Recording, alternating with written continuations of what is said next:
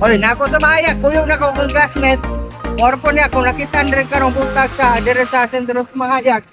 Then, katwar mo po na kung sa ang gitawag. Tapos nakita ko na ako ng animal. Kaning kuwartan. Kuyo, kuyo sa sa una po permeta. High school pa, high school pa na ako mga classmate. So yun, ako may dito sa unahan. ah sa barangay, barangay ba ng Cross. Ha? Cross. Ah, barangay Santa Cruz.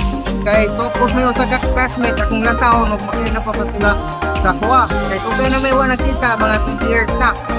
What? Oto man tawag sa wato ka classmate. Mas 30 years na nagkita. Ay, pero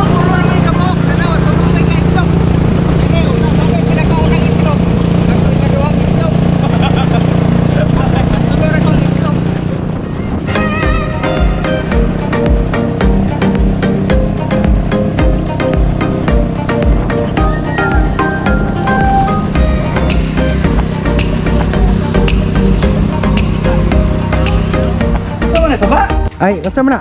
Adi si si Kapitano, mo si Kapitano gihawan pa jud kong manok ni Kapitan. Matay kap. Salamat kay Kap. Daghan kay salamat Kap sa uh, bay, na 20 anyos na tong nga wala nagkita. Gihawan kog manok. Oh, 20 plus na jud, no?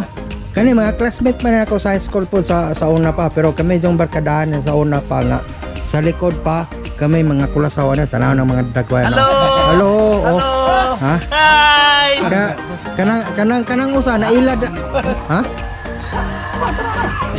Ka, kanang usa na ilad din ako kay abi daw niya gobyerno ko.